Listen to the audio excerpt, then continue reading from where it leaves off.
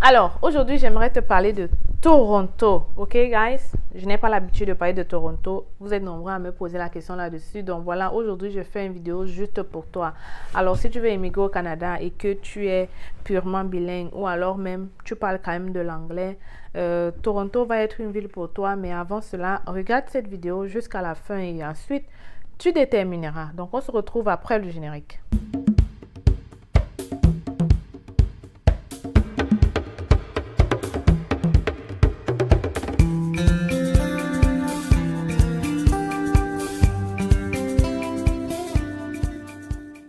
Alors, coucou mes petits Canadiens, j'espère que vous allez bien. Alors, aujourd'hui, on va parler de Toronto, ok, guys?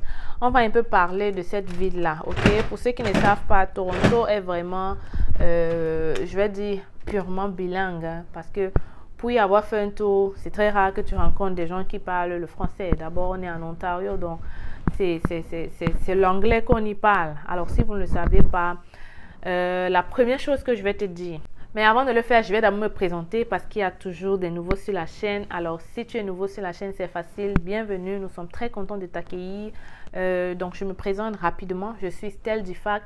Arrivée au Canada, ça fait déjà 7 ans. Donc, je suis venue comme étudiante.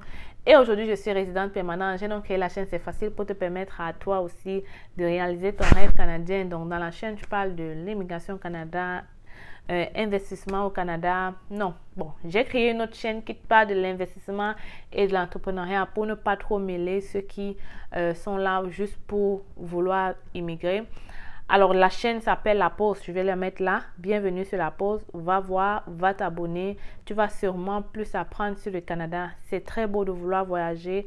Mais si tu ne connais pas, qu'est-ce que tu viens faire? Si tu ne connais pas le système canadien en termes de finances, de business, de comment tu prends, de tout ça, tu vas sûrement très rapidement te perdre et tu vas peut-être regretter d'être venu au Canada.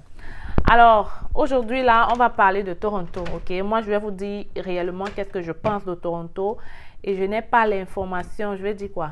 Euh, je ne suis pas allée à Toronto beaucoup de fois, mais pour y être allée quelques fois, je peux quand même vous dire selon mon expérience. Alors, ceux qui vivent à Toronto, Veuillez s'il vous plaît nous laisser en commentaire qu'est-ce que vous pensez réellement de la vie de Toronto. Euh, peut-être je vais oublier certaines choses parce que je n'y vis pas. Donc clairement, euh, ce serait la bienvenue d'aider nos frères qui sont en train de nous regarder en ce moment et qui ne savent pas à quoi s'attendre à Toronto. Donc vas-y, mets en commentaire qu'est-ce que tu penses de Toronto. Moi principalement, la première chose que vous devez savoir, c'est que comme j'ai dit, c'est une ville purement anglaise, ok? Donc, on parle de l'anglais là-bas. Donc, pour quelqu'un qui ne sait pas parler un tout petit peu de l'anglais, je veux même pas dire un tout petit peu. Pour moi, pour aller à Toronto, il faut être moyen en anglais, ok? Si tu parles un tout petit peu anglais, ça va être difficile pour toi pour de, de de, de, de, je veux dire quoi, ça va être difficile pour toi, ok, à moins que tu y vas pour faire des cours d'anglais, euh, ça peut être la ville parfaite pour vite apprendre, ok, mais si tu y vas pour les études, euh, en anglais, je ne sais même pas comment quelqu'un va aller là-bas pour étudier en anglais. Je ne pense même pas que ça sera possible. En tout cas, si tu y vas pour, pour, pour travailler et que tu ne parles même pas un peu anglais, it's gonna be tough, guys. Ça va être vraiment difficile pour toi. En tout cas, vraiment, ce que je veux que tu saches, c'est que il faut connaître l'anglais pour aller à Toronto. Deuxième chose, Toronto est très grand, ok?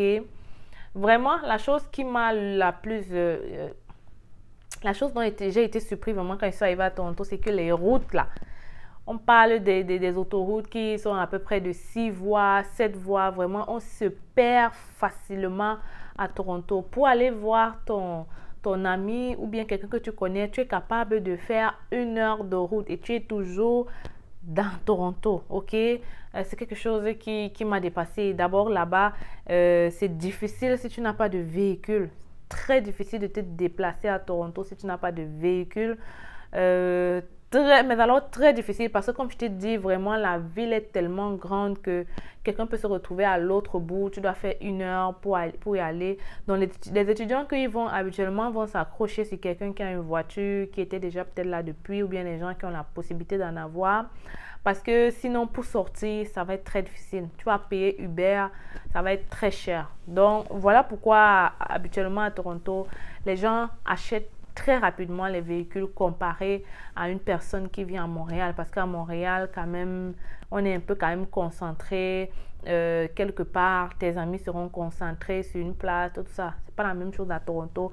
D'abord, les choses sont trop, trop éloignées un peu de, de, de part et d'autre. Et comme je t'ai dit, euh, la ville est trop grande. Ok? Deuxième chose que tu dois savoir, c'est qu'il n'y a pas les avantages comme au Québec. Ok? Donc, si tu m'as déjà entendu parler des avantages sociaux, ce n'est pas la même chose à Toronto. Au Québec, quand tu as ton permis de travail, tu as la possibilité d'avoir la carte d'assurance maladie euh, gratuit et tout ça et tout ça.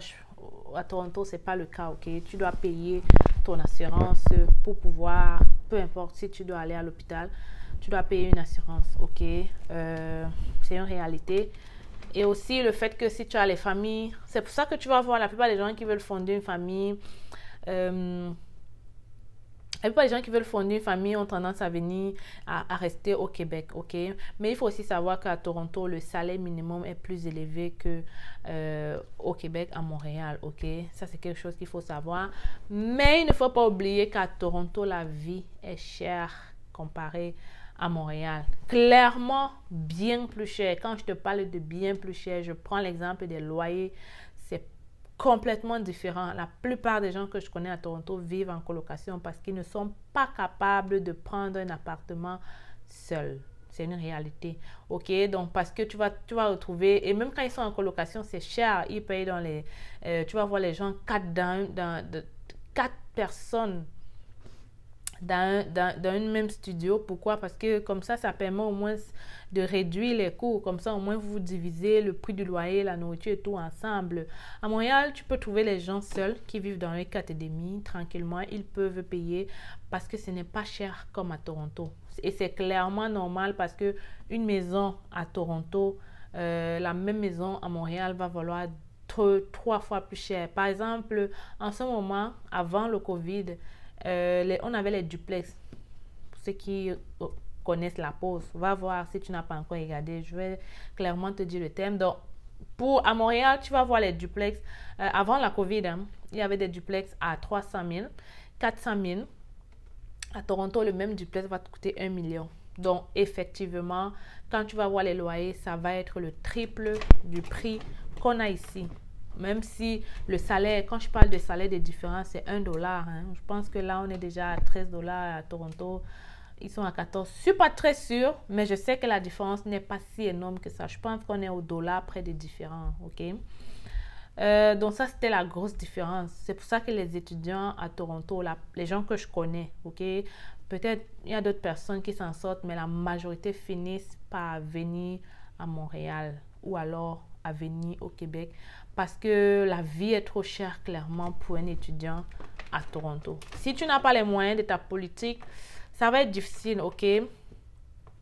Ça va être difficile, mais il y a, il y a des gens qui vivent et c'est pas impossible d'y vivre. Je veux juste que tu, que tu saches vraiment avant de t'y embarquer. Et si tu connais quelqu'un, pose des questions. Et c'est ça que j'ai dit que s'il y a les gens qui vivent à, Toronto, laissez les commentaires peut-être pour aider. Dites, dites-nous quels sont vos...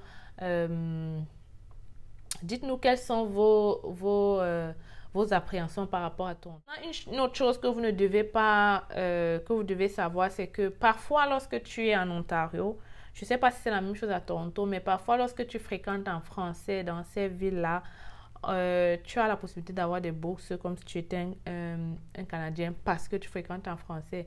Parce que comme le Canada est bilingue, on veut un peu que toutes les régions soient un peu bilingues. Donc parfois, on favorise la mobilité francophone vers ces pays anglo vers ces villes ou régions anglophones-là. Pour, pour que plus tard, on ne soit pas en train de trouver juste des zones anglophones, juste des zones francophones. En fait, c'est un peu ça. Mais sinon, clairement, la majorité, plus de la majorité, à Toronto, c'est l'anglais là. Ok, donc gardez cela en tête. Ok, je pense que j'ai fait le tour de ce que moi je connaissais. Euh, je n'ai pas la, connaissance absolue là-dessus. C'est pour ça que je, répète encore, si quelqu'un connaît plus quelque chose sur Toronto, venez dire, moi clairement, c'est ce que j'ai, avec mon, petit vécu à Toronto, voilà ce que j'ai j'ai pu voir. Mais alors, il y a quelque chose de très intéressant à Toronto. Pour ceux qui connaissent les chutes du Niagara, c'est vraiment un site touristique où... Euh, tout le monde y va là. Ok, donc si tu es à Toronto, au moins tu auras ça à tes côtés et ce serait bien. Tu pourras te balader. Et moi, j'aime ce, site-là. Et d'ailleurs, quand je pars à Toronto, c'est juste pour ça. Donc, il y a quand même ça qui est intéressant. Pour ceux qui ne connaissent pas les chutes du Niagara, peut-être je vais mettre la photo là. Ou alors, vous pouvez aller taper sur Internet. Il y a une musique là que je chantais souvent. Euh, je pense que c'était la musique de Garou qui disait les chutes du Niagara. Oh, mais je savais même pas que c'était au Canada quand je suis arrivée. Donc, j'étais vraiment surprise de savoir que c'est là. Et hum, les États-Unis ne sont pas loin de Toronto. Ouais, les États-Unis ne sont pas loin de là.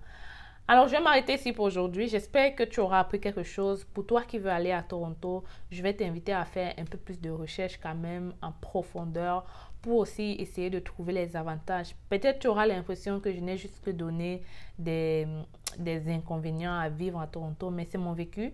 J'y suis allée juste peut-être quelques fois et et vraiment, c'est pour ça que je demande que quelqu'un vienne te dire, ok? C'est mon vécu et aussi celui de mon entourage, ok? Je connais des, beaucoup de gens qui ont quitté Toronto pour Montréal. Ils, ils, ont, ils sont restés là-bas pendant cinq ans, pendant, mais après, à la fin, je pense qu'ils ont compris que l'idéal, c'est de venir ici. Et aussi parce qu'avant, le Québec avait beaucoup de facilité d'avoir les papiers. Maintenant, euh, avant, dès que tu étudiais au Québec, tu avais ton diplôme de 1800 heures et plus, tu avais la possibilité d'avoir les papiers. C'était pas la même chose à Toronto.